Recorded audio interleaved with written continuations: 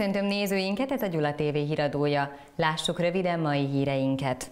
Felújítják a művelődési házat. A beruházást 500 millió forintos pályázati támogatásból valósítják meg. Gyulán rendez Vidnyánszki. A Nemzeti Színház igazgatója fiatal művészekkel mutatja be a pszichét. A hazatérésre emlékeztek. Több mint 500 német nemzetiségű embert vittek el Málenki robotra. Döntetlen a nyitányon. Egy-egyre végzett a pénzügyőr ellen a Várfürdő Gyulai Termál FC. Ágot a tábor Szanazukban. 170 állami gondoskodásban élő fiatal töltött 10 napot a körösök mellett. Közel fél milliárd forintból újítják fel a művelődési ház belső tereit. A pályázati úton elnyert források értékét növeli, hogy a városnak nem kell önerőt biztosítani a fejlesztéshez. Ez a nap híre. Ezekbe a széksorokba már legfeljebb a munkások ülhetnek, de eltűnik a piros burkolat is a művelődési ház színház terméből. A helység és maga az épület is komolyabb ráncfelvarráson mehet keresztül, ezek a július 20-án készült képek vélhetően az utolsók, melyek ilyen állapotában mutatják a termet. A város által elnyert félmilliárd forint értékét növeli, hogy a számos jelentkező közül csak Gyula, 60 és Moson Magyaróvár pályázatát támogatták. Külön öröm, hogy a több mint két és fél ezer négyzetméternyi területet érintő fejlesztés nem igényel önerőt. Az épület korszerűsítése mellett több funkciós, osztható tereket alakítanak ki, megerősítik a megújuló energia használatát. A hang és fénytechnika, azt hiszem ez ki kell, hogy emeljem az egész projektből, illetve a színháznak, a színház teremnek a, a belső kialakítása, ez ami egy különlegesség lesz.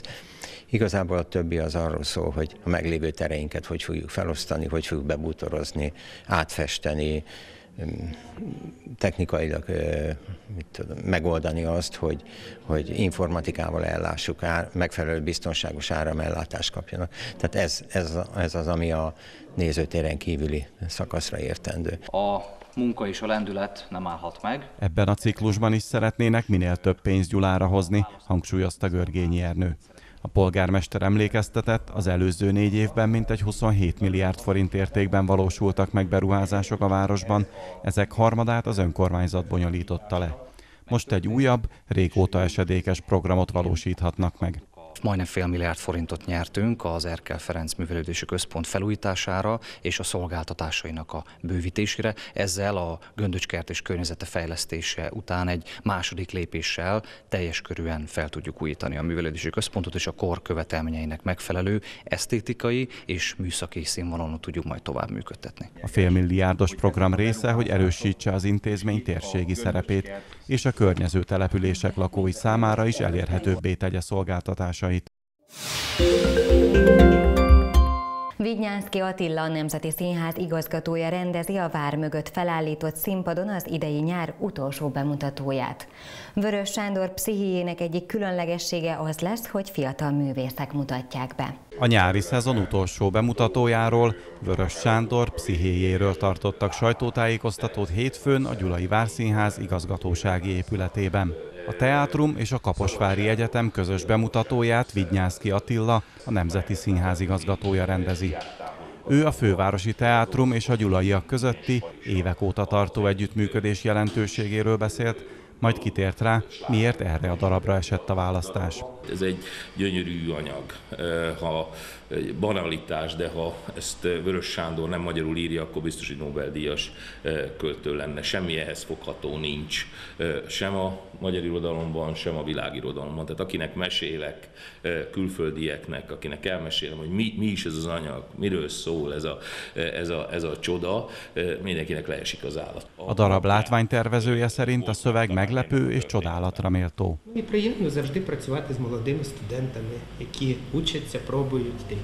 Alexander Belozub azt mondta, a próbák alatt szinte borotva élen táncoltak, hogy megtalálják az arányokat az esztétika és az erotika mesdjéjén. A darab egyik szereplőjét a Pegazusok nem léteznek zenekar énekes szövegírójaként is ismerheti a közönség. Ács Eszter azt mondta, a darabban a pszichéi létet próbálták megkeresni. Mindenki meg tudta benne találni azt, ami hozzá legközelebb áll. Amit mi így megpróbálunk megfogalmazni, az az, hogy, hogy a psziché, ez a pszichéi lét, ez, ez minden emberbe hogy van jelen. és hogy mik azok a helyzetek, amikor, amikor ez az erő, ez, ez, ezt nem lehet visszafogni, vagy mi az, amikor, amikor el kell nyomni, mi az, amikor rossz hatással van a környezetre. Tehát mi igazából a pszichének a létezését ö, próbáltuk megkeresni. A darab különlegessége, hogy azt fiatal színész növendékek adják elő a vár és a tó mögötti területen. Érdekesség, hogy a felcsendülő zenék jelentős részét most nem a rendező, hanem a csapat hozta. Elhangzott, a fellépők számára komoly kihívást okoz, hogy megpróbálják kizárni a külső körülményeket.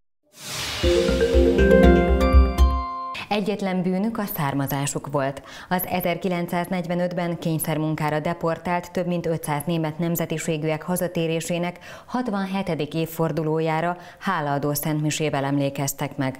Az eseményen megszólalt az aportéri lélekharang is. Hálaadó szentmisével emlékeztek az 1945-ben kényszermunkára a Szovjetunióba deportált több mint 500 német nemzetiségűek hazatérésének 67. évfordulóján. A misét Heiter Robert kanonok mutatta be német és magyar nyelven. als A kitelepítettek nagy része 1948. júliusában tért haza, ám voltak olyanok, akiknek ez még később adatott meg. Ludvig András három és fél évet töltött egy szovjetuniói szénbányában. Hát el lehetett felejteni hosszabb idő után, de azért soha el nem múlik. Mindig visszatérődik, főleg ilyenkor, mikor felidéződik, meg látja az ember a többieket, a sorstársakat. Aztán ez akkor az ember. Városunkban legalább 352 gyermek maradt apa, anya, vagy akár mindkét szülő nélkül. Elhangzott 1945-ben Békés megyéből minden előzmény nélkül 3500 német származásúnak minősített nőt és férfit vittek el kényszermunkára. Fontosnak tartjuk azt, hogy ne felejtsük el soha, hogy vannak olyan rendszerek, amikor áltatlan embereket hurcolnak el, akik nem bűnösök, és ezekre való emlékezést azért fontos, hogy ne forduljon elő soha többet bármilyen fai vagy vallási alapon megtorlás ártatlan embereknek. A megemlékezés végén az aportéri lélek harang megszólalását követően az emlékezők koszorút helyeztek el a harangrábnál. 17 csapattal rajtolt el a hétvégén az MB3-as bajnokság három csoportja. A középben a gyulaiak a frissen feljutott pénzügyőr ellen kezdték a szezont. A tavaly még a Budapest első osztályban játszó pénzügyőr ese ellen kezdte a szezont szombat délután a Várfürdő Gyulai Termál FC. A hazai együttes összesen tíz új játékossal gyarapodott ebben az idényben. Többek között azt az Urbán Gábort igazolta le az együttes, aki 2005-től 2011-ig az MTK csapatát erősítette. A mérkőzés 12. percében Sipos a középen induló Stjec próbálta játékba hozni, de Hajdú hamarabb ért a labdához. Néhány pillanattal később fejtört a hazai kapu felé, de lövése gyengének bizonyult. A 15. percben még csak próbálkozott a fővárosi együttes, viszont egy perc múlva Karvalics lábáról pattant be a labda, így a vendégek hamar megszerezték a vezetést. A 19. percben Gyürki szabadrugása veszélyeztette Harman kapuját. A következő helyzet ismét a fővárosi csapat előtt adódott. Győr kitört a kapu felé, de Szabó időben megállította. A 27. minutumban jött az egyenlítés. Nagy Gergely jobb szélről szabadrugásból csavart a kapuba. Néhány perccel később ismét a hazai csapat veszélyeztetett, amikor Balog lőtt fölé. A félidő végéhez közeledve Gyürki szögletből teremtett helyzetet, de Harman blokkolta. A második félidő elején feljutott labdához, lövése alig ment a kapu fölé. Kevéssel ezután nagy passza után okos lőtt mellé. Fejbeadását Gyürki rúgta Harman kezébe. A mérkőzés vége előtt 20 perccel okos passza Szabó fejéről Balog elé pattant, aki nem tudta bevenni a zöldek kapuját. Nem sokkal ezután ismét Balog előtt nyílt lehetőség, de Hajdú éber volt. A hajrában a Gyula megpróbálta itthon tartani a három pontot. Nagy lövését Hajdú lábbal hárította. A 87. percben Stunga szabadrugása került el a hazai kaput. Hármas sípszóig az eredmény már nem változott. Várfürdő Gyulai Termál FC pénzügyőrese 1-1. Jól kezdtünk, aztán átvett az ellenfél a, a, az irányítást, a kezdeményezést, és ugye a hibáinkból meg is büntettek bennünket. Én úgy érzékeltem, hogy utána egy váltás, egy szerkezeti váltásnak köszönhetően visszafordult, utána mi, én úgy gondolom volt az első félnökes egy szakasz, amikor jól futballoztunk.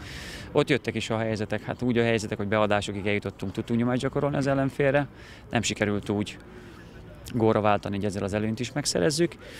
A második félidő szintén ezt a hullámzást mutatta, én azt mondom, hogy itt a, amivel hiányérzetem van, a mérkőzés végén az az, hogy én úgy gondolom, hogy több százszázalékos helyzetet hagytunk ki. A vendégcsapat vezetőedzője Vatai Attila elégedett volt a mérkőzés végeredményével. Hogy voltak olyan időszakok a, a mérkőzésen, amikor nagyon jól mentünk át védekezésből támadásba, és nem sokon múlott, hogy nem szereztünk vezetést.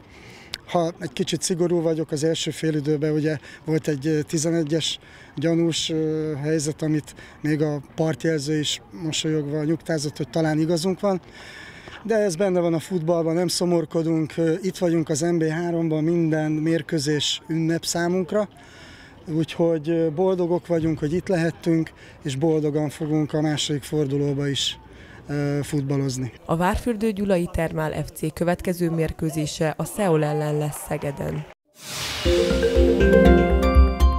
Az ország több megyéjéből 170 állami gondozásban élő fiatal vett részt az idén dobos szanazukban megrendezett immár 19. Ágota táborban. A rendezvényt jellemző felszabadult hangulatú programok mellett nagy szerepet kaptak a traumák feldolgozását segítő terápiás csoportok. Ezekben a fiatalok életét aktuálisan leginkább meghatározó témákkal foglalkoztak, mint a jövőkép, a család és a bizalom. A 19 éves Ágota Alapítvány mintegy 10 ezer gyermeket támogat évi 600 programmal, anyagi, szociális, pedagógiai eszközökkel. Legfőbb céljuk a veszélyeztetett fiatalok és az állami gondos gondoskodásban élők támogatása. A nyári tábor mellé is sok támogató állt. A gyerekek társfővédnökként Herceg Anitát Magyarország köztársasági elnökének feleségét és Kis Rigó László püspököt tudhatták maguk mellett. Puskaropogástól és ágyúdörgéstől volt hangos a Gyulai Végvári Napok rendezvénye alatt a vár előtti terület. A rendezvényen korhű ruhákkal és fegyverekkel idézték meg az 1566-os várostromot a nagyszámú érdeklődők előtt. Rövid hírek következnek.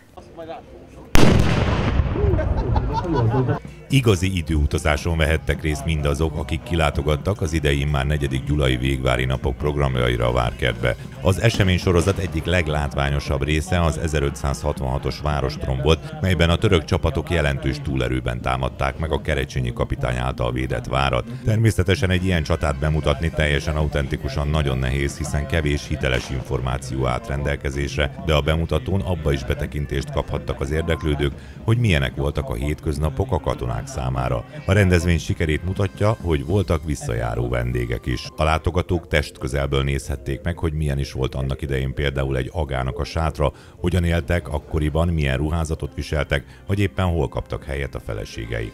Hogy ott egy olyan törni, hogy... Az első csata jelenetben a felderítő sergeket láthatta a közönség, amelyek mindig megelőzték a ténylegesen harcoló katonákat. Az ő feladatuk az volt, hogy az adott hadműveleti területről minden lehetséges javat szabad beszerezzenek, például takarmányt, élelmiszert vagy lőszert.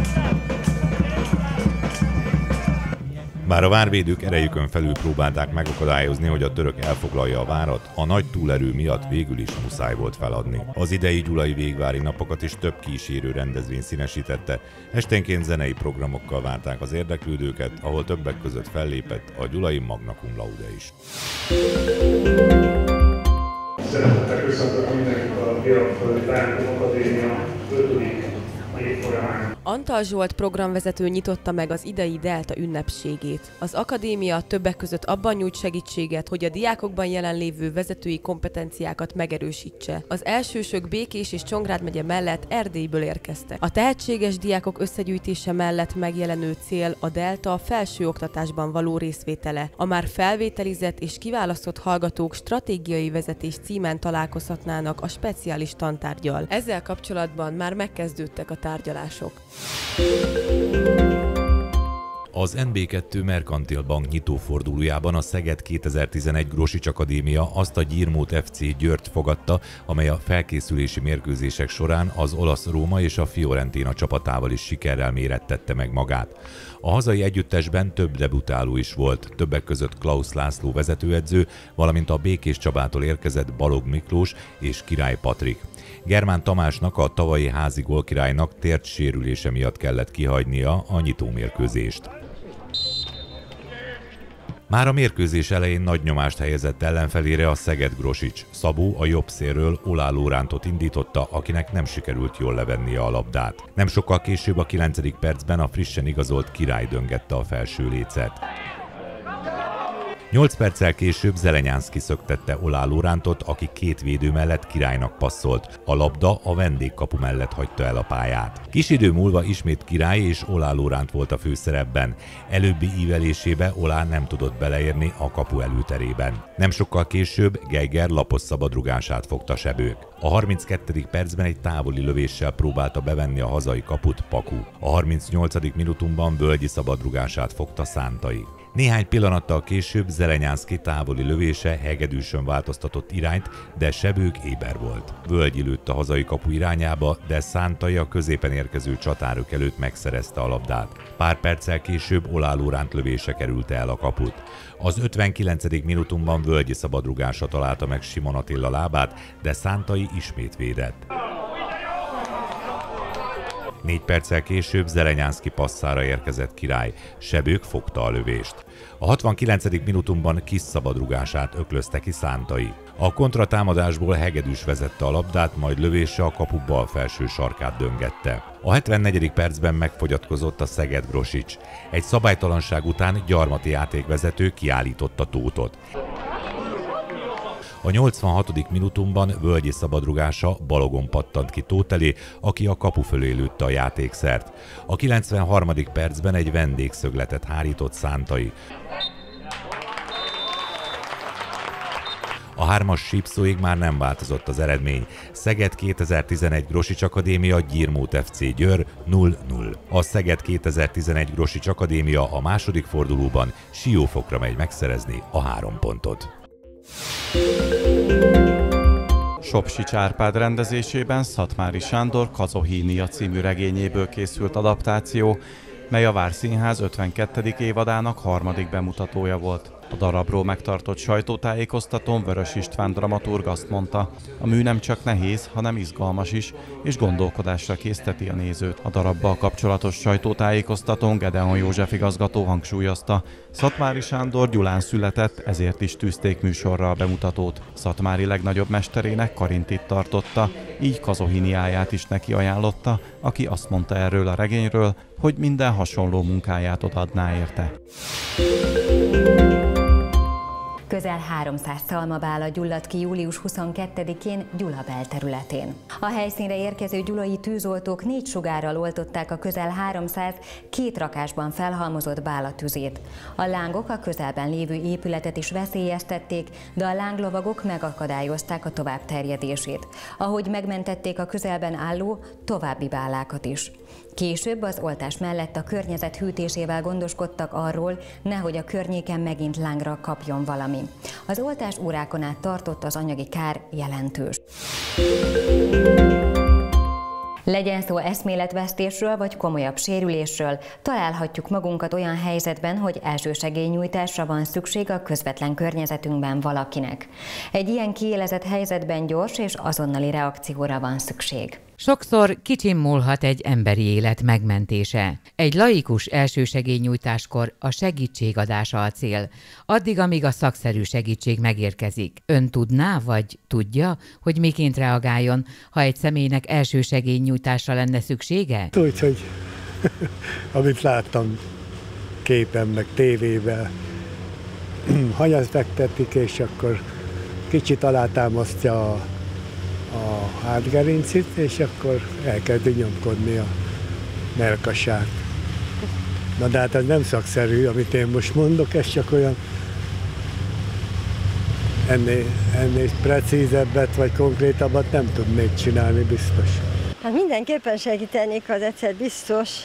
Hú, elájultat, fekve, fekvő állapotba kell hagyni. Nem tudom, hogy ilyenkor megy a légzés. Segítenék a légzés esetleg, és hívnék segítséget. Egy-egy-kettő. Próbálnék segíteni. És esetleg ismer valami olyan életmentő folyamatot, hogy újraélesztés, vérzéscsillapítás? Hát néztem a filmet, ami volt a tévében, annyi az összes képzettségem. Több mint 700-an maradtak áram nélkül a vihar miatt Orosházán. Lapszemle következik. Bőséges a körtetermés. A piacon már megjelent a legkorábban termő befőzésre is alkalmas fajta, írta a Gyulai hírlap. Egy hete nyári érésű, befőzésre alkalmas körte is kapható a gyulai piacon. Egyelőre a klap kedveltjét árulják a standoknál, a Vilmos körte megjelenésére néhány hetet még várni kell. Fejlesztik a kerékpárutakat. Békés Csaba két projekttel csak nem 400 millió forint támogatáshoz jutott, közölte a Csabai Mérleg. A szakminisztérium tájékoztatása szerint az előző 2007-2013-as Európai Uniós támogatási ciklus forrásaira újból megnyitott pályázat során a főutak melletti, már létező kerékpárutakat összekötő, néhány kilométeres szakaszokra lehetett pályázni.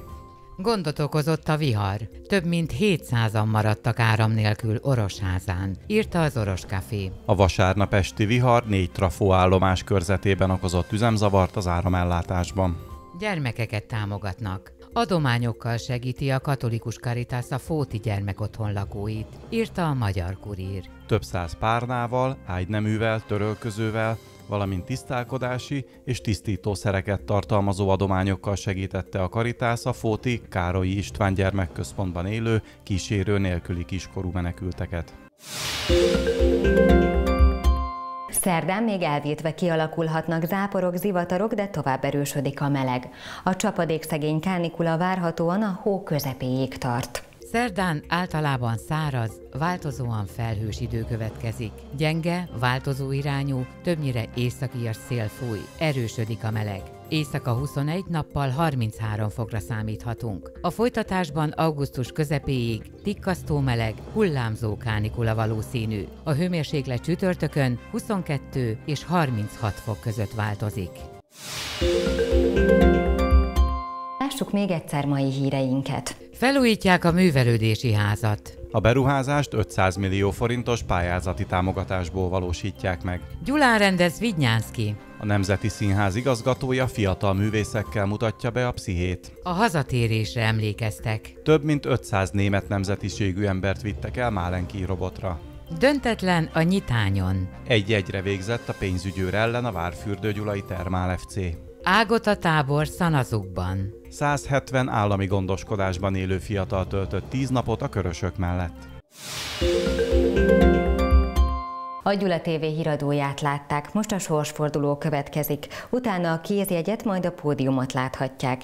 Nézzék híreinket, videóinkat a gyulatelevízió.hu oldalon és a Facebookon is. Köszönjük figyelmüket, további jó tévézést kívánunk!